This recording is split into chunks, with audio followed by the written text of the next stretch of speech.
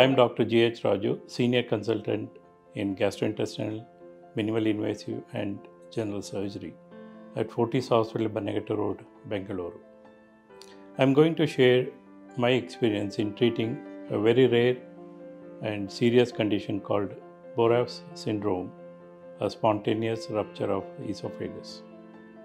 Here we received a male patient aged about 50 years in ER presented with sudden onset of severe chest pain and difficulty in breathing and lowering oxygen level of, uh, after a bout of vomiting. The initial resuscitation was done by ear doctors. The investigation revealed a large rent in the lower end of the food pipe or esophagus. Pooling of stomach contents into the chest cavity on the left side and soaking the lungs with uh, gastric fluid and food particles. We decided to take him off for emergency surgery. The preoperative uh, preparation and stabilizing the patient was done by Dr. Sudha a senior physician, and uh, intensivist from MSU.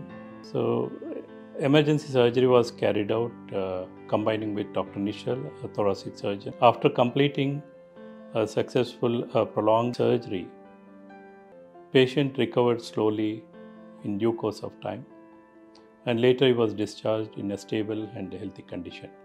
In the year 2019, I felt sick quite seriously. Though I was not having, not having any prevailing health conditions, I was quite regular to gym sessions with normal eating habits. I felt sick. Late night hours, I was rushed to Fortis emergency and it was diagnosed as a rare condition called uh, syndrome and surgery was necessary and my survival chances were quite minimal. Dr. Raju and he along with Dr. Nischal Pandya conducted surgery which lasted nearly for 7 hours. And Dr. Raju with his uh, treatment, with his care, uh, ensured that my situation improved gradually.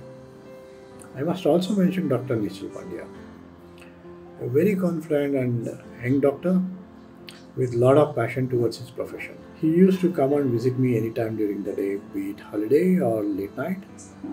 He made sure that he comes and talks to me and uh, inquires about me.